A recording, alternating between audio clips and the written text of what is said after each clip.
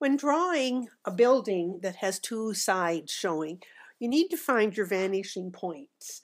And often when you try to do that, you can't get vanishing point on your page. So I have taken four legal side pieces of paper, cut them lengthwise, taped them all together in a nice long row like this, and drawn black line right down the middle, the whole length of this piece of paper. Then what I've done to make my um, vanishing points work well is I've taken my drawing and put it on top of what I call the eyeline sheet. And then when you're drawing your eyeline, say from the roof down, you go down and you see it crosses, sorry, the vanishing point. It crosses the eye line here. I put a little mark in here. And then from the lowest corner, I go up and check the mark there. And that will now help me do all of the windows and the doors on both sides. So after I'm done with this, basically I just fold it up, stick it into a plastic sleeve, and stick it in my drawing book, which makes it handy for whenever I need it. Now, when you do have your vanishing points, there will be a video on vanishing points and how you use these for the right vanishing point and the left vanishing point to do your windows, and you will get perfect perspective from doing that. The other thing I did put on my eyeline sheet is just to keep myself organized. I, I did the word eye line here, but then on the top of the eye line, I wrote above eye line angles down from the closest corner, and that's from the closest corner of your building, which in this case is the closest corner is over here. And I've marked it with a nice long line. So when I'm showing other people, they can see that this is the closest corner of the building. And then down here, I did below eye line, angles up from the closest corner. So when you see this closest corner and you join the eye line to it, it does angle uphill. So that's my little bit. To find the peak of the barn, this point here, generally people just think, oh, well, it's halfway up and they do it. And it really, it's not the right answer.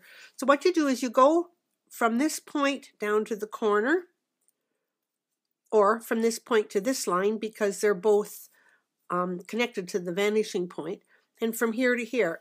So you, you've got your vertical, and you make sure you have the eaves in there so you don't go with the leaves. And then join the two corners.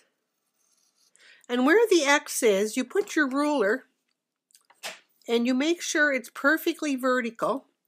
You draw a light line and that light line is the peak of the, the barn.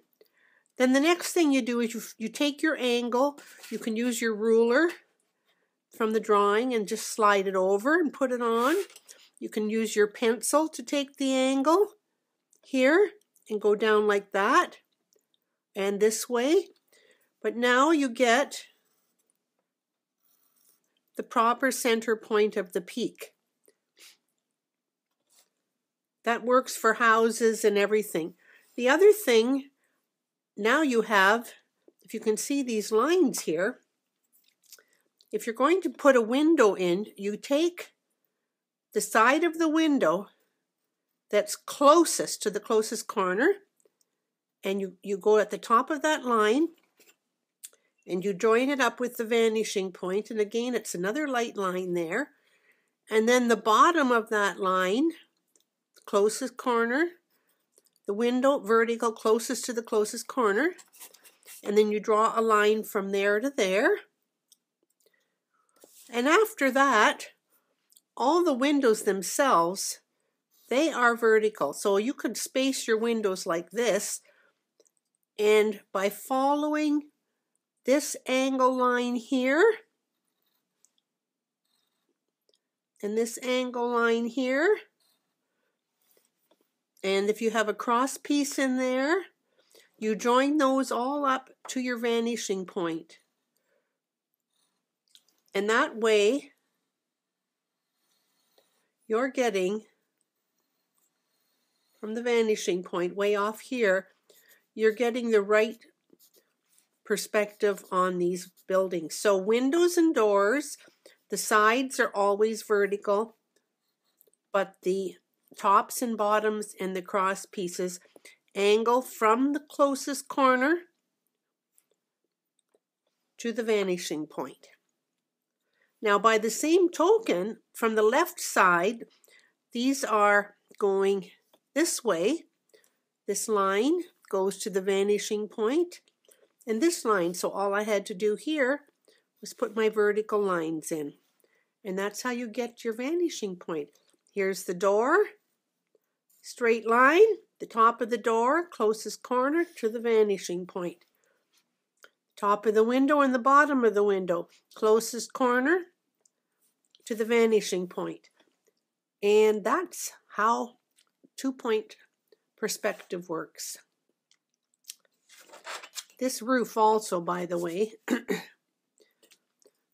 point here to the vanishing point on the left, the left vanishing point, it angles that way and you have to check the angle of this because the roof is a wee bit wider here than it is here because it's closer to us and they have this huge vanishing point that goes way off into up into the sky on the next desk.